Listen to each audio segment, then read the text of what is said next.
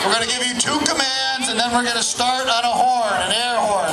The commands will be, runners, take your mark, set, and then the horn. So we ready? Okay, have a great run, everybody. Runners, take your mark.